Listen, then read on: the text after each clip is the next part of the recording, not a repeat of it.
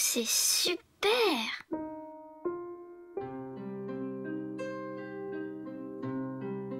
Je pense qu'en fait le cinéma a toujours été quelque chose de très très important dans ma vie.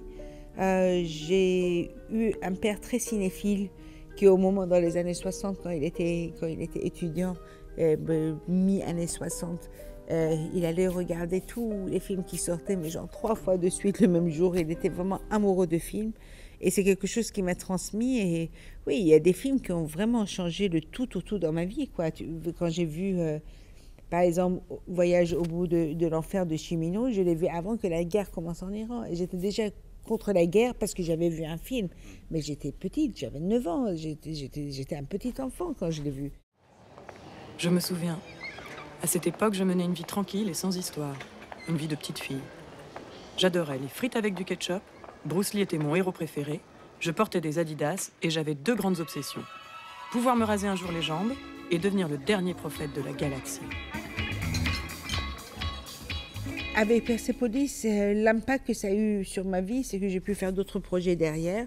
Et c'est surtout les, gens, euh, au lieu de parler de Jamais sans ma fille, et ils ont commencé à parler de Persépolis, ce qui est quand même plus juste. C'est-à-dire, dans Jamais sans ma fille, quand même, il dit qu'on se lave une fois par an. Je me lave trois fois par jour. Merde, ça suffit, quoi. Ma Jeanne, qu'est-ce qui t'arrive? Ce n'est pas un comportement digne d'une future prophète. Mais mon Dieu, le père de Ramine a tué des gens. Jeanne, ce pauvre petit Ramine n'y est pour rien. Il ne doit pas porter le poids des fautes de son père. Les méchants paieront tôt ou tard pour leurs méfaits.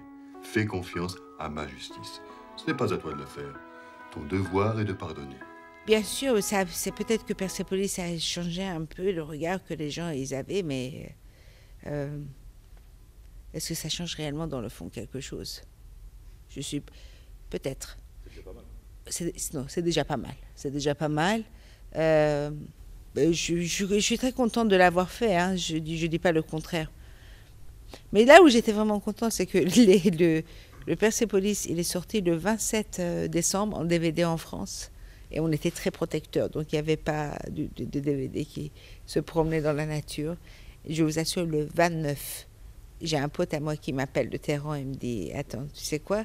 Je suis en train de regarder ton film avec des sous-titrages en persan. 48 heures. Plus tard, il avait sous-titré, et, donc voilà.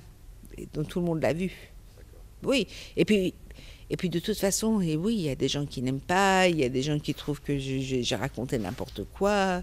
Euh, mais enfin, le but de ma vie, c'est de ne pas plaire à tout le monde. Enfin, si les gens ils m'aiment pas, je m'en fous. Je les aime pas non plus, ça va quoi.